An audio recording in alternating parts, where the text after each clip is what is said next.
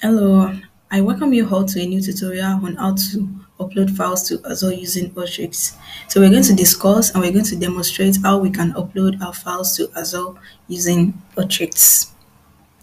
So the two questions that we need to have in mind when we are working with Azure is how do Azure store files? And when you're talking about Alteryx also, you need to consider how do Ultrix push those files to Azure. So how do Azure store files? Azure Blob Storage is regarded as a feature of Microsoft Azure, which allows users to store large amounts of unstructured data on Microsoft Data Storage Platform. And with Azure Blob Storage, the files, that is our photo, videos, training documents, maybe probably CSV files, Excel file, they are regarded as blob. And these blob files, they are put in containers which function similar to directory. So this is how Azure store files. It actually use the Azure Blob storage and all the data you put in there are usually in a blob format. So we're going to demonstrate in Alteryx on how we can push, let's say, a CSV file to the Azure platform. So the first thing we're going to do is our blob storage. Then we locate our container. Then the first thing we do here is we grab our shared access token.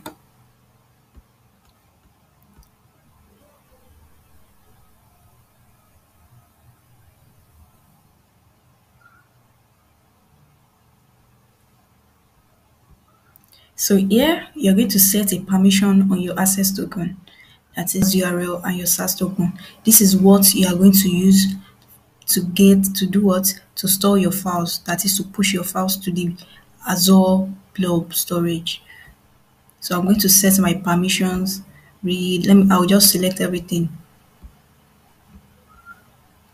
So I'm going to set my start and expiry dates. So okay. So I'm going to generate my SAS token and SAS URL. So what we're going to do here is to open our Alteryx Designer. So what, the first thing we're going to do is you are going to know the tools that you're going to work with. So the first tool we're going to work with is a directory tool. So you can come here and search for the directory tool. Okay, I already brought it out. So this is the directory tool. Using this directory tool actually what? It actually helped me to navigate down to the parts of the file I want to push to Azure. So here I'm going to locate the file I want to use. I'll go to my document folder.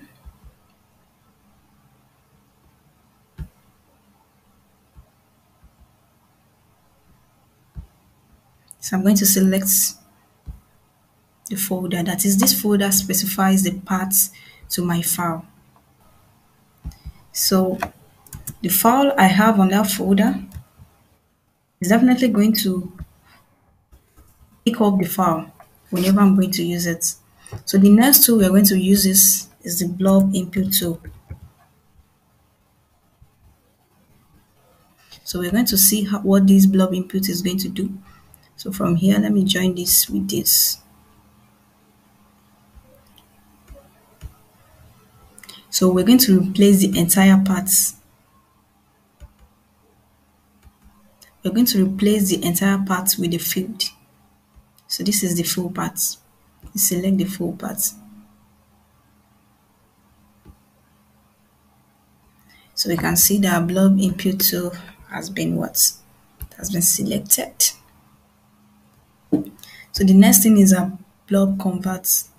So select convert to a blob, then we click on what base64 encoded binary data because it has to be encoded as a base64 for this to work for us.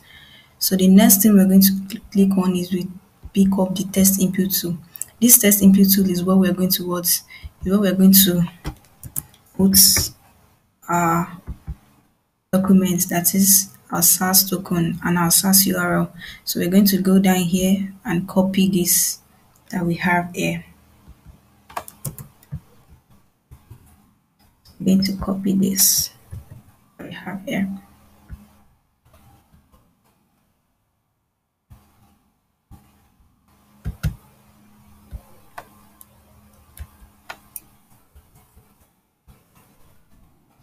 Okay. So, and one thing that we need to know in Alteryx is this is this is actually the Alsace URL. And our token is starting from the what? From the question mark. After the question mark, that is SP is equal to raw and all. Part is actually our container. So here we're actually going to use the name of the file that we're trying to post to Azure. So I'm going to specify the name of the file. This is usually required. So we need to use, we need to do this whenever we work with it. So we click on the append field. Select the append field here. This append field is actually to filter the, the things that we need and to bring these two together. That is the SAS URL that we have here from this test input and the one we have here. So I'm going to put join this to this and I'm going to join this to this.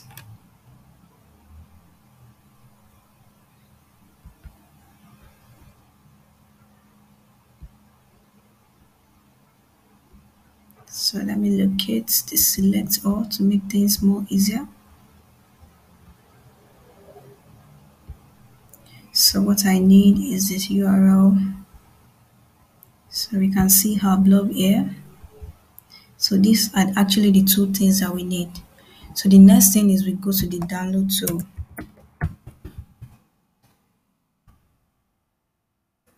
Click on it, drag it out. So what we do here is you, whenever you're using the download tool, the reason why many of us actually encounter error is when we don't set the proper headers and we don't follow all the procedure we are meant to do. So what we're going to do here is we check the encode URL test. Then we indicate that we're coding our data to a block format. So our URL has been selected. So we go to the headers.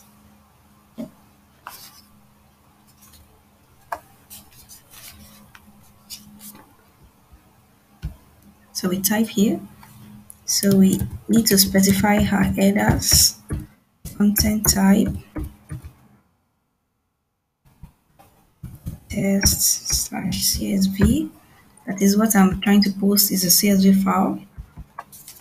So another thing is you need to indicate the blob type.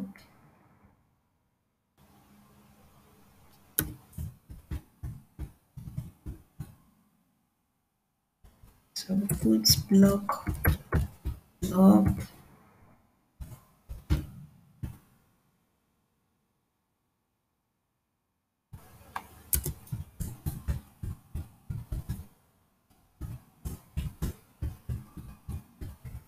So this transfer encoding has to be to, to be specified as no.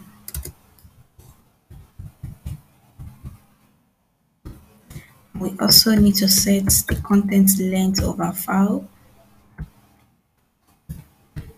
The content length of my file that I'm trying to post is 49 bytes. So I put 49. So here we are going to indicate as a put request.